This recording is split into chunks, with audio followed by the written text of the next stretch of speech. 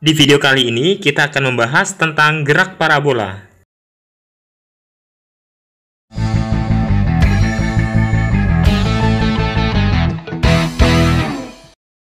Berbicara mengenai gerak parabola sangat erat kaitannya dalam kehidupan sehari-hari. Contohnya, ketika kita bermain bola dan menendang bola, kemudian ketika kita melakukan lompatan atau pukulan lob dalam permainan olahraga bulu tangkis.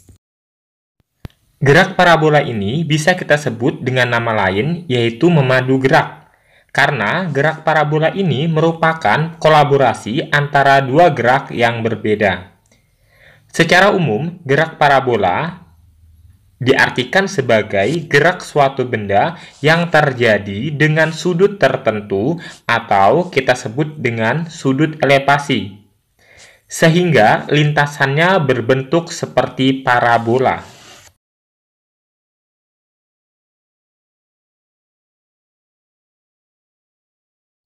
Ilustrasinya adalah seperti gambar berikut. Di sini aku mempunyai sebuah benda yang dilempar condong ke atas yang membentuk sudut alfa terhadap arah horizontalnya. Sudut alfa ini yang kita sebut sebagai sudut elevasi. Sehingga bendanya akan berbentuk seperti parabola untuk lintasannya ya. Di sini ada sumbu X arah mendatar dan sumbu Y untuk arah vertikalnya. Anggap kecepatan benda, awal benda ini yaitu V0. Kemudian, kecepatan awal V0 ini akan kita proyeksikan terhadap sumbu X dan terhadap sumbu Y. Terhadap sumbu X, akhirnya kita tulis sebagai V0X, dan terhadap sumbu Y, V0Y. Kemudian, di sini untuk arah horizontalnya atau sumbu X, itu bekerja gerak lurus beraturan. Jadi, untuk arah sumbu X-nya GLB, kemudian untuk arah vertikalnya atau sumbu Y-nya itu gerak vertikal ke atas. GLBB gerak vertikal ke atas. Di sini kita bisa melihat untuk V0X-nya itu sama dengan V0 cosinus alpha, sementara V0Y sama dengan V0 sin alpha. Artinya kalau sin itu yang jauh dari sudutnya, seperti itu.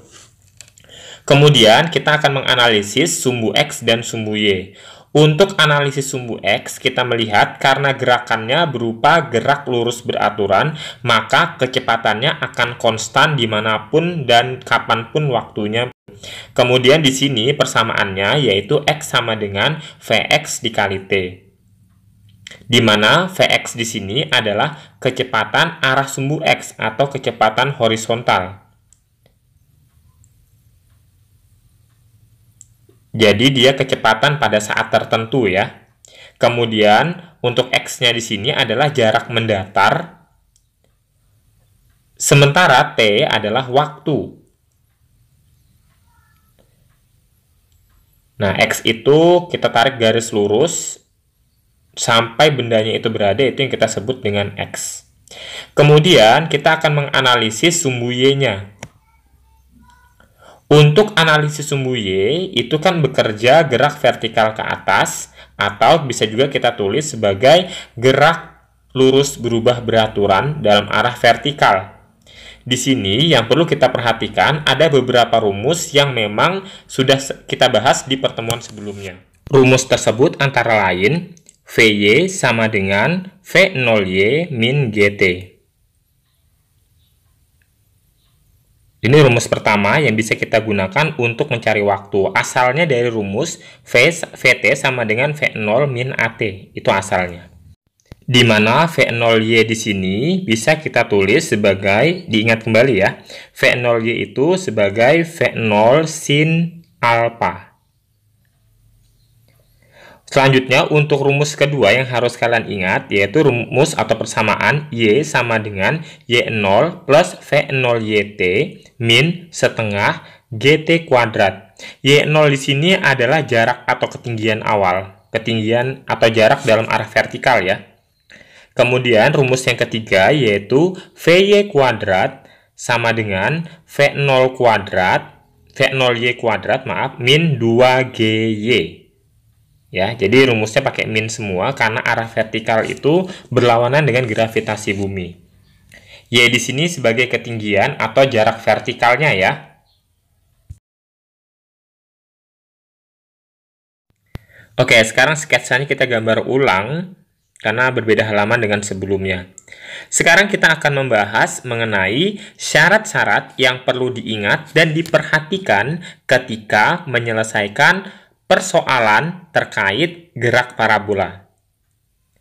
Yang pertama yang harus kalian ingat yaitu saat mencapai tinggi maksimum, syarat yang harus dipenuhi benda tersebut yaitu VY-nya harus sama dengan 0. Jadi tinggi maksimum ini kita beri lambang Y max ya. Gini. Nah, jadi kalau kita perhatikan dari gambar itu bisa kelihatan Y max-nya di mana, yaitu di atas ini. Jadi ketika berada di atas puncak tertinggi, maka kecepatan arah vertikalnya sama dengan 0, VY-nya sama dengan 0. Bukan V0Y-nya ya. Karena V0Y itu kecepatan awalnya. Nah, ketika aku kasih titik sini, maka jaraknya itu X sumbu X-nya dan Y untuk sumbu Y. Kecepatannya Vx dan Vy. Kemudian kalau di titik yang sebelah kanan ini, ya untuk posisinya XY, sementara kecepatannya gabungan antara kecepatan horizontal dan kecepatan vertikalnya. Jadi bukan Vy aja yang kita pakai. Jadi di sini syaratnya VY sama dengan 0 dan Vx-nya sama dengan V0x. Karena di mana pun tempatnya dan kapan pun kecepatan arah sumbu X-nya itu selalu konstan karena GLB ya. Kemudian syarat yang kedua, jika yang ditanya itu tentang kecepatan saat ketinggian maksimum, saat mencapai Y maksimum. Maka di sini bisa kita lihat seperti yang sudah aku jelaskan sebelumnya, kita bisa mencari kecepatan, berarti kecepatan resultannya, kecepatan gabungan antara sumbu X dan sumbu Y. Kita bisa menggunakan persamaan V sama dengan akar Vx kuadrat ditambah Vy kuadrat. Ya, jadi artinya seperti yang sudah dijelaskan sebelumnya. Posisinya itu Vx dan Vy. Kemudian, persyaratan yang ketiga yang harus diingat yaitu rumus waktu untuk mencapai ketinggian maksimum untuk mencapai Y max-nya. Nah, di sini untuk mencapai ketinggian maksimum, kita bisa menggunakan rumus TY max sama dengan V0Y per G.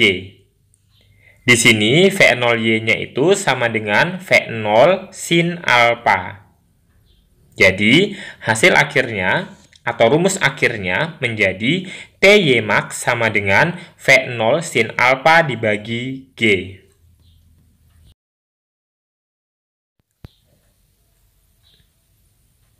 Selanjutnya, yang keempat yaitu rumus untuk mencari ketinggian maksimum atau Y max.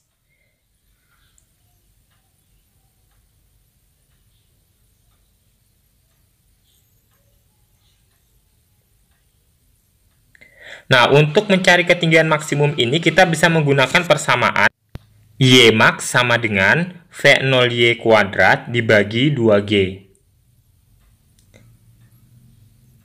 per 2G. Kalau kita selesaikan kembali V0Y-nya menjadi Y max sama dengan V0 kuadrat sin kuadrat alpha dibagi 2G. Hati-hati, V0Y itu kan V0 sin alpha. Kalau dikuadratkan berarti V0-nya dikuadratkan, sinnya juga dikuadratkan. Ini berasal dari rumus yang di atas ini ya. VY kuadrat sama dengan V0 kuad, V0Y kuadrat min 2GY. Jadi rumus ini dari situ. Karena VY-nya kan sama dengan 0. Jadi kalau kita turunkan itu kayak gini. VY kuadrat sama dengan V0Y kuadrat min 2GY. V0Y-nya VY-nya sama dengan 0. V0Y-nya dikuadratkan pindah ruas. 2GY sama dengan V0Y kuadrat. Y-nya sama dengan V0Y kuadrat dibagi 2G. Nah, itu asalnya. Selanjutnya, yang bagian E yaitu rumus untuk mencari ketinggian pada detik ke T. Misalnya, ketinggian pada saat waktunya itu 4 sekon, berapa? Nah, gitu. Jadi, persamaan yang bisa kita gunakan yaitu Y sama dengan Y0 plus V0Y dikali T min setengah GT kuadrat. Di sini kalau waktunya sudah diketahui tinggal kita selesaikan. Kalau misalnya bendanya dilempar pada gedung setinggi tertentu, berarti ada Y0-nya. Y0 itu tinggi mula-mula. Tapi kalau bendanya dilempar dari permukaan tanah, berarti Y0-nya 0 ya. Kemudian yang keenam, yaitu rumus untuk mencari jarak terjauh. Biasanya saat benda menyentuh tanah kembali, jadi dimulai pergerakan dari tanah hingga mencapai tanah kembali. Nah, di sini kita bisa melihat atau memperhatikan bahwa rumus ini tidak bisa digunakan saat benda dilempar pada ketinggian tertentu seperti yang dijelaskan sebelumnya, khusus untuk yang keenam atau F ini. Nah, kita akan menurunkan persamaannya. Syaratnya yaitu Y-nya sama dengan 0, karena kan bendanya menyentuh tanah kembali, berarti tidak ada ketinggiannya. Oke, di sini. Berarti kan menyentuh tanah kembali Y sama dengan 0. X-nya yang ada jarak mendatar. Oke, kita bisa menurunkan persamaan ini dengan terlebih dahulu mencari waktu yang diperlukan untuk mencapai tanah kembali. Di sini kita bisa menggunakan persamaan Y sama dengan Y0 plus V0Y dikali T min setengah GT kuadrat. Karena dimulai dari tanah dan berakhir di tanah kembali, maka Y dan Y0-nya sama dengan 0. V0Y-nya V0 sin alpha dikali T min setengah GT kuadrat. Pindah ruas setengah GT kuadratnya. Jadi kita bisa mencari nilai T-nya. T-nya dicoret dulu. Kemudian T sama dengan 2 V0 sin alpha dibagi G. Jadi ini waktu yang diperlukan untuk mencapai tanah kembali. Kemudian kita akan mencari jaraknya. Jarak yang dimaksud di sini yaitu X. Yang perlu diingat lagi, untuk arah sumbu X ini kan gerakannya GLB ya. Berarti kita cukup menggunakan persamaan X sama dengan V0X dikali T, yaitu V0 cos alpha, T-nya kita masukkan dari yang ditemukan tadi, 2 V0 sin alpha dibagi G. V0 dikali V0 itu V0 kuadrat, 2 sin alpha cos alpha dibagi G. 2 sin alpha cos alpha ini sama dengan sin 2 alpha. Jadi persamaannya akan menjadi V0 kuadrat sin 2 alpha dibagi G. Inilah persamaan untuk mencari nilai X, yaitu jarak terjauh.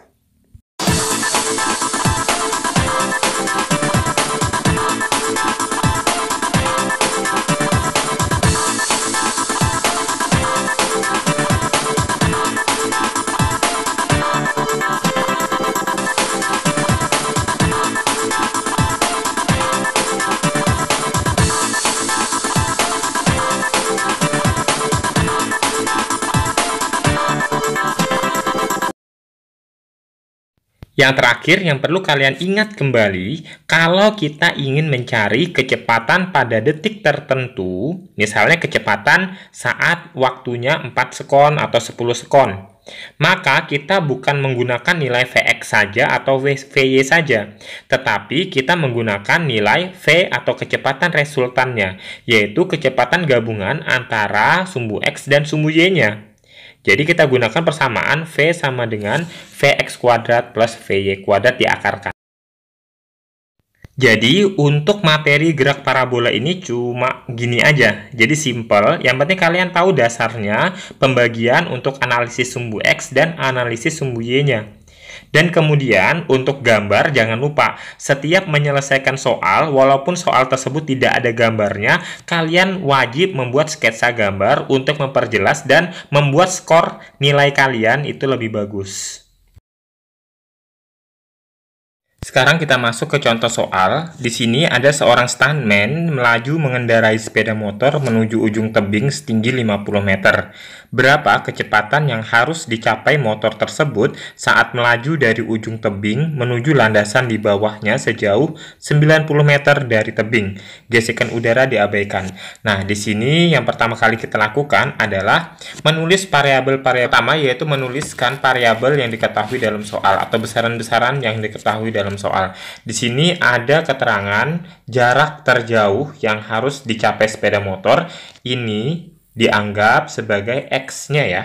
Nilai X maksimum 90 meter. Kemudian di sini tebingnya motornya awal mulanya berada di ujung tebing ya. Berarti ini dianggap sebagai ketinggian awal atau Y0 sama dengan 50 meter. G tidak diketahui dalam soal, berarti kita bebas menggunakan nilai G. Di sini aku menggunakan 10 aja supaya enak. Kemudian pertanyaannya adalah berapakah nilai kecepatan agar sepeda motor bisa tepat jatuh di bawah tebing sejauh 90 meter di landasannya. Berarti yang ditanyakan adalah Vx. Ya. Vx-nya. Kemudian di sini kalau misalnya saat mencapai tanah kembali, berarti y-nya kan sama dengan 0 keterangannya. Oke. Langkah pertama kita cek dulu gambarnya. Di sini bendanya berada di atas tebing, sepeda motornya berada di atas tebing, berarti sepeda motor ini bergerak kayak gini. Sampai dia berada di ujung bawah tebing, tepatnya di landasannya ini. Nah, di sini jaraknya dari ujung tebing adalah 90 meter. Kemudian ketinggian mula-mula tebing itu adalah 50 meter.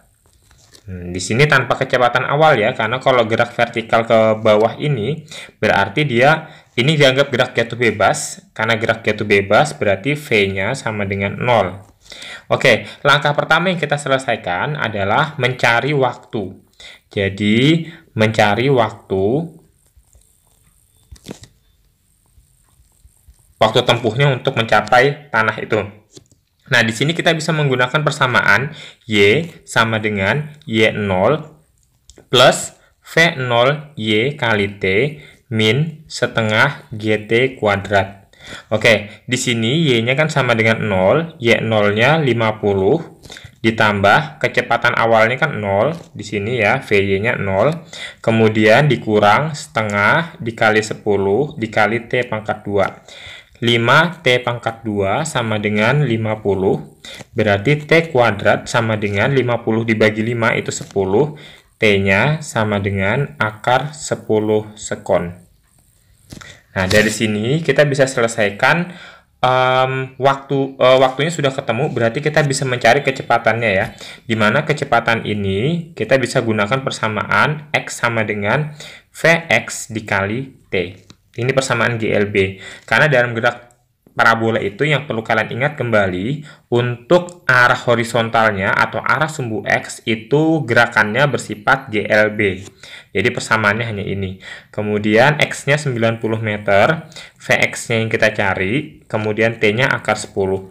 Berarti Vx sama dengan 90 dibagi akar 10. Kita kalikan dengan akar sekawannya, maka hasilnya adalah 9 akar 10 meter per sekon. Ini jawabannya.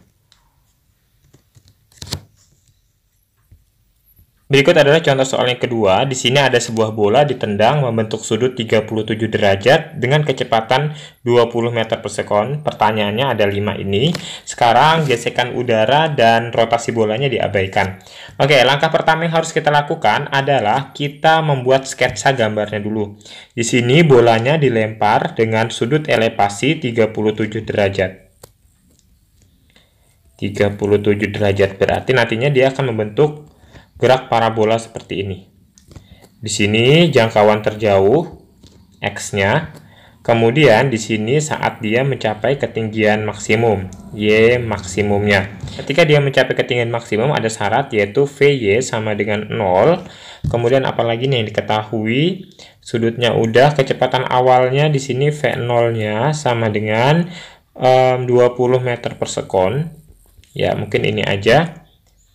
Oke, udah di sini kalau dia mencapai tanah kembali, syaratnya berarti ketinggian atau jarak vertikalnya sama dengan 0.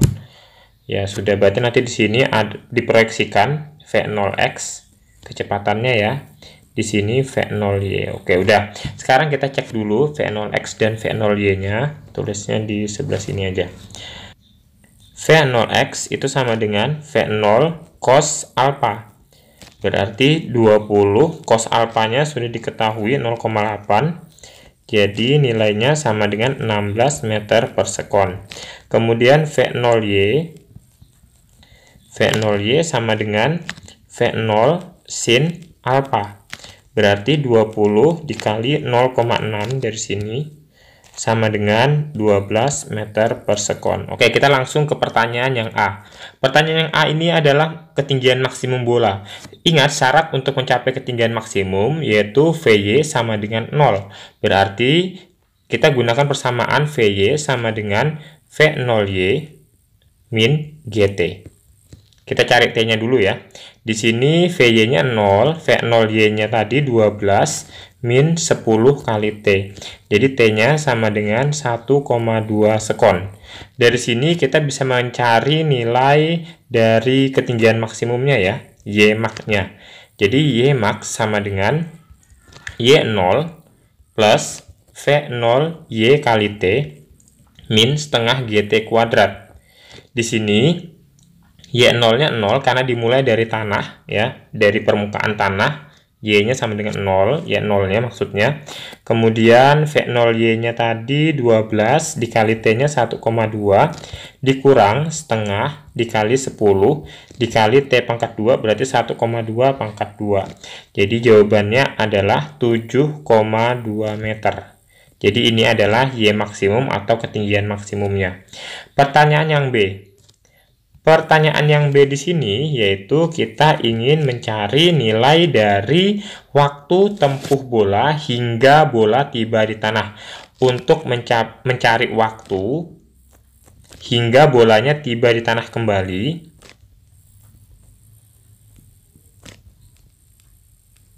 Yang perlu kalian ingat adalah dalam gerak parabola, waktu dari posisi awal ke posisi ketinggian maksimum itu kita anggap T, maka waktu dari ketinggian maksimum ini sampai ke tanah kembali itu T juga ya.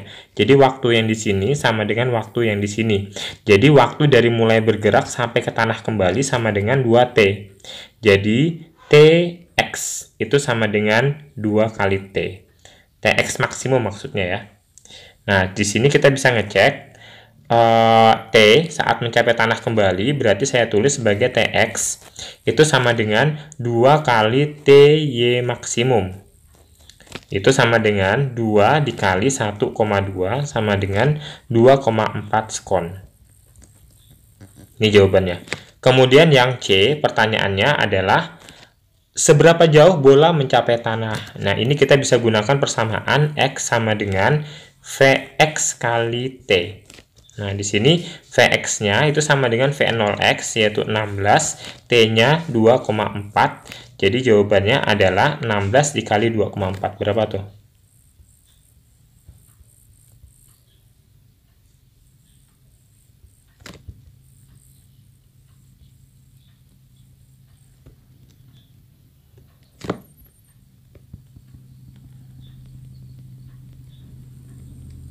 Jawabannya adalah 38,4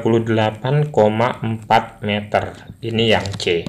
Kemudian kita cek pertanyaan yang D. Ini aku uh, ter terombang-ambing ya untuk option ABC-nya. Gak apa-apa, yang penting kalian ngerti aja arahnya di mana. Untuk kecepatan bola di ketinggian maksimum, berarti untuk mencapai ketinggian maksimum di sini kan VY-nya atau kecepatan arah vertikalnya 0, tetapi Vx-nya ada nilainya. Nah, yang kita cari itu nilai Vx-nya. Jadi, uh, Vx itu sama dengan V0 cos alpha yang tadi ya. Jadi jawabannya 16. Nah, sementara Vy-nya kan sama dengan 0. Berarti V resultannya itu sama dengan Vx kuadrat ditambah Vy kuadrat sama dengan 16 kuadrat ditambah 0. Jadi jawabannya 16 meter per sekon. Kemudian untuk yang E, pertanyaannya adalah percepatan saat ketinggian maksimum. Ingat, besarnya percepatan di setiap lintasan yaitu sama 10 meter per sekon kuadrat atau 9,8 meter per sekon kuadrat arahnya ke bawah. Jadi percepatan di setiap lintasan parabolanya ini ya, yaitu G sama dengan 9,8 meter per sekon kuadrat atau 10 ke arah bawah, ke arah gravitasi bumi ya. Berikut adalah soal latihan yang bisa kalian kerjakan dan jika kalian sudah ketemu jawabannya, kalian boleh jawab di kolom komentar. Sampai di sini video pembelajaran kali ini. Thanks for watching. See you next video.